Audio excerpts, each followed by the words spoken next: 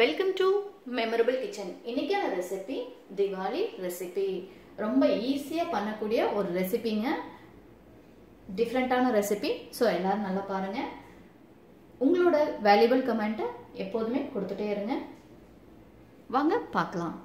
ஒரு கடா வச்சுக்கலாங்க. நெய் ஒரு ஸ்பூன் விட்டுக்கலாங்க. பாருங்க ஒரு ஸ்பூன் நெய் விட்டுக்கலாம். ரவை. ரவை வந்து இந்த கப்பில் ஒரு கப் எடுத்துருக்கோங்க. இந்த கப்போட மெஷர்மெண்ட் பார்த்தீங்கன்னா one twenty five ml of cup ஓகேங்களா இந்த ஒரு கப் ரவையை இதில் அப்படியே போட்டுடலாங்க. நல்லா வறுத்துக்கலாங்க. நெய்லே ரவை வறுப்பிடணும்.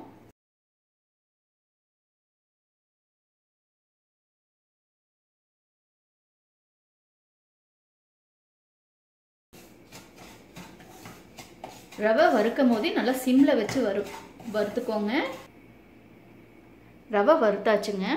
ரவை வறுத்த பிறகு எந்த கப்பில் நம்ம வந்து ரவையை மெஷர் பண்ணமோ ஸோ அதே கப்பில் நம்ம பால் ஊற்றிக்கலாம் ஒரு கப் ரவை எடுத்திங்கன்னா ஒரு கப் பால் ஊற்றணுங்க பாருங்க. இந்த ஒரு கப் பாலை இதில் ஆட் பண்ணிக்கலாங்க.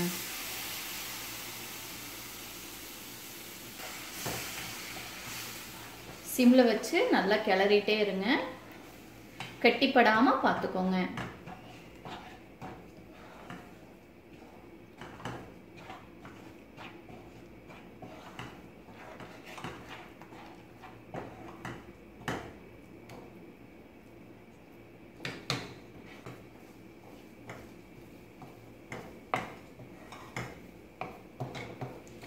இந்த பாலிலே ரவை வெந்துருங்க.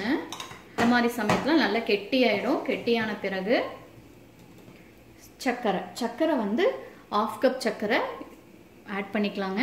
சர்க்கரை ஆட் பண்ணும் போது கொஞ்சம் தண்ணி தண்ணி விடும்.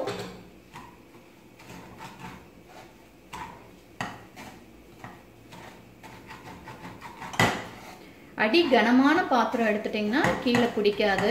கொஞ்சம் பாத்திரம் லேசாக இருந்தால் இந்த மாதிரி தான் கீழே பிடிக்குங்க. ஸோ சிம்மில் வச்சுக்கோங்க.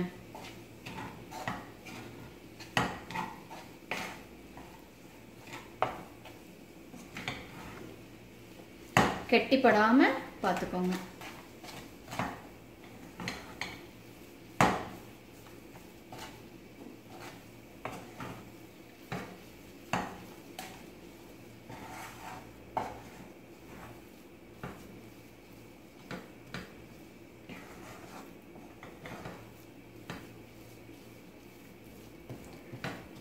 சர்க்கரை அதிகமாக இனிப்பு தேவைப்படுறவங்க இனிப்பு அதிகமாக தேவைப்படுறவங்க ஒரு முக்கால் கப்பு கூட போட்டுக்கலாங்க. நார்மல் இனிப்பு சாப்பிட்றவங்களுக்கு ஆஃப் கப்பே சர்க்கரை போதுமானது.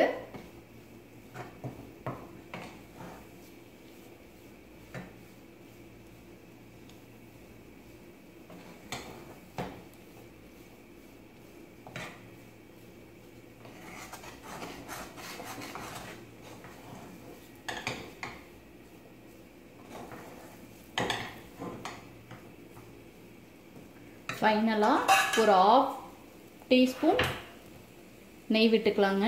ஃபைனலாக கொஞ்சமாக நெய் விட்டுக்கோங்க.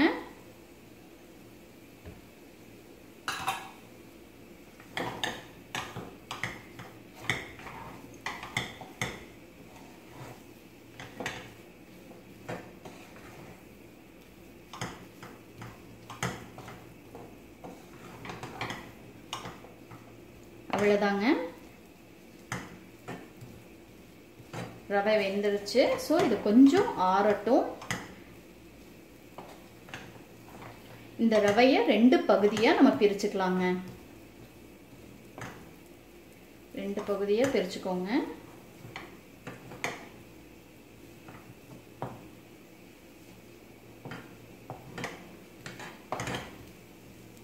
ரவை ஆறட்டுங்க. ஆஃப் பண்ணிடலாங்க ஸ்டவ்வை. ஒரு ஃபைவ் மினிட்ஸ் கழித்து நம்ம வந்து பார்க்கலாங்க. இந்த நம்ம ரெண்டு பகுதியாக பிரிச்சுருக்கோங்க. இதில் ஒயிட்டாக இருக்கிற பகுதியை எடுத்து நம்ம ஒரு பிளேட்டில் மாற்றிக்கலாம் பாருங்க இந்த மாதிரி மாற்றிக்கலாங்க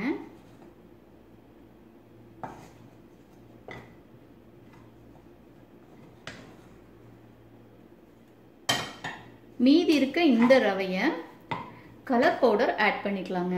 நான் இன்னைக்கு எடுத்திருக்கிறது வந்து ஆரஞ்சு கலர் எடுத்திருக்கேன். So one drop orange colour விட்டுக்கலாங்க.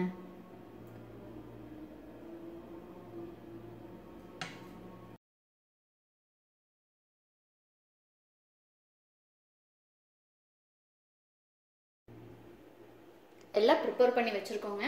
சரி இந்த டைமில் கொஞ்சமாக நெய் கையில் விட்டுக்கலாங்க. கையில் நெய் கொஞ்சம் விட்டுட்டு இப்படி ரவுண்டாக நம்ம உருட்டிக்கலாங்க. சின்ன ரவுண்டாக உருட்டினா போதும்.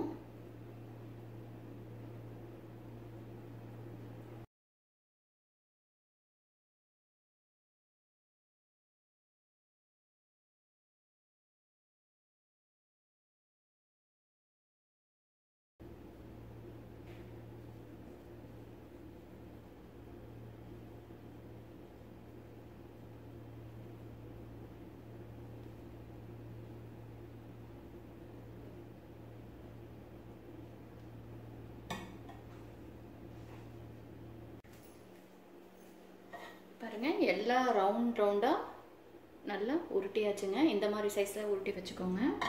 அடுத்தது இந்த இது. இதை எடுத்து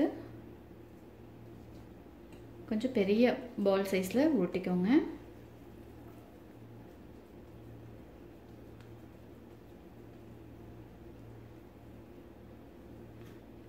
ப்ரெஸ் பண்ணுங்கள்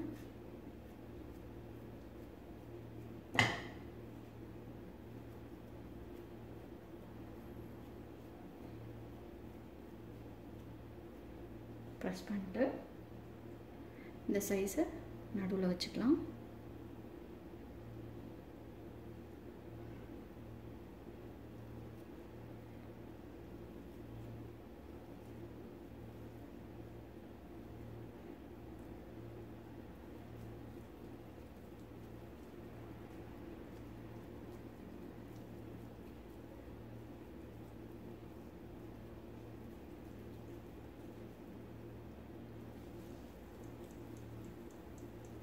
கையில் ஆயில் தடவிட்டு பண்ணிங்கன்னா கரெக்டாக வருங்க.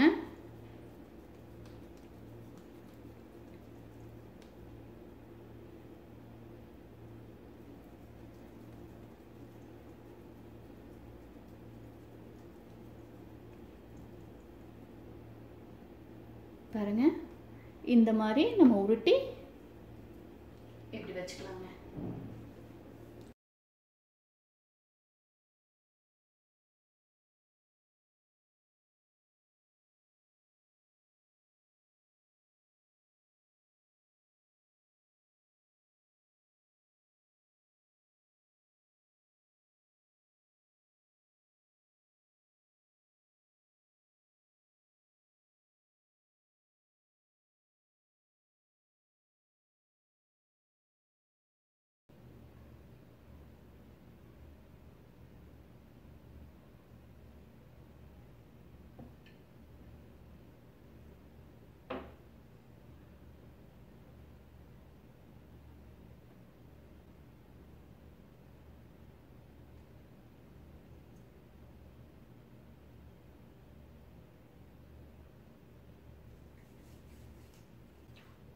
வாவ் ஃபஸ்ட் கிளாஸான ஆன ரவா ஸ்வீட்டு ரொம்ப அருமையாக வந்திருக்குது.